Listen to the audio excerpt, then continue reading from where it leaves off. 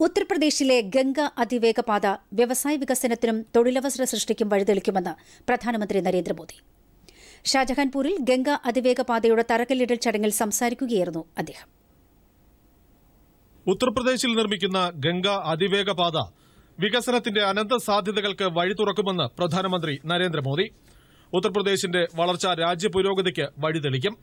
സബ്കാ സാത്ത് സബ്കാ വികാസ് സബ്കാ വിശ്വാസ് സബ്കാ പ്രയാസ് എന്നിവയിലൂന്നി ഉത്തർപ്രദേശിന്റെ വികസനത്തിന് ആത്മാർത്ഥമായി ശ്രമിച്ചു വരികയാണെന്നും അദ്ദേഹം പറഞ്ഞു പ്രധാനമന്ത്രി ആവാസ് യോജനയ്ക്ക് കീഴിൽ ഉത്തർപ്രദേശിൽ അൻപതിനായിരം വീടുകൾ പൂർത്തിയാക്കാനും എൺപത് ലക്ഷം വീടുകളിൽ സൌജന്യ വൈദ്യുതി കണക്ഷൻ നൽകാനും കഴിഞ്ഞിട്ടുണ്ടെന്നും അദ്ദേഹം പറഞ്ഞു രാജ്യത്തിന്റെ പൈതൃകത്തിലും വികസനത്തിലും താൽപര്യം കാണിക്കാത്ത പ്രതിപക്ഷ കക്ഷികൾ വോട്ട് ബാങ്ക് രാഷ്ട്രീയമിട്ടാണ് പ്രവർത്തിക്കുന്നതെന്നും അദ്ദേഹം പറഞ്ഞു आज उत्तर प्रदेश के सबसे बड़े सबसे बड़े एक्सप्रेसवे, गंगा एक्सप्रेसवे पर काम शुरू हो रहा है।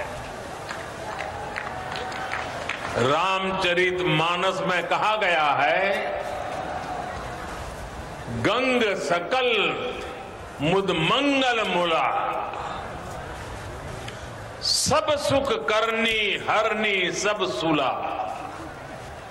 यानी माँ गंगा, सारे मंगलों की, सारी उन्नति प्रगति की स्रोत है।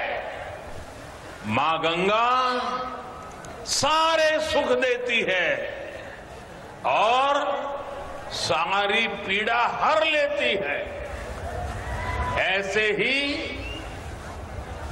गंगा एक्सप्रेस वे भी यूपी की प्रगति के नए द्वार खोलेगा റൊസ മൈതാനത്ത് നടന്ന പൊതുജന റാലിയെയും പ്രധാനമന്ത്രി അഭിസംബോധന ചെയ്തു മീററ്റിൽ നിന്ന് പ്രയാഗ്രാജ് വരെ ഉത്തർപ്രദേശിന്റെ പടിഞ്ഞാറൻ കിഴക്കൻ മേഖലകളെ ബന്ധിപ്പിച്ച് പന്ത്രണ്ട് ജില്ലകളിലൂടെയാണ് അതിവേഗ പാത കടന്നുപോകുന്നത് മുപ്പത്തിയാറായിരത്തി ഇരുന്നൂറ് കോടി രൂപ ചെലവിൽ അഞ്ഞൂറ്റി തൊണ്ണൂറ്റിനാല് കിലോമീറ്റർ നീളമുള്ള ആറുവരി പാതയാണ് ഇതിനായി നിർമ്മിക്കുന്നത് പാത നിർമ്മാണത്തിന് ആവശ്യമായ തൊണ്ണൂറ്റിനാല് ശതമാനം ഭൂമിയും ഏറ്റെടുത്തു കഴിഞ്ഞു.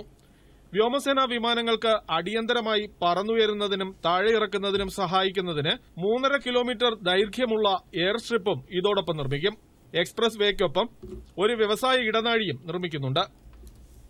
പ്രദേശത്തെ സാമൂഹിക സാമ്പത്തിക വളർച്ചയ്ക്ക് കൂടുതൽ ഊർജം പകരുന്നതാണ് എക്സ്പ്രസ് വേ. ഉത്തർപ്രദേശ് മുഖ്യമന്ത്രി യോഗി ആദിത്യനാഥും ചടങ്ങിൽ പങ്കെടുത്തു.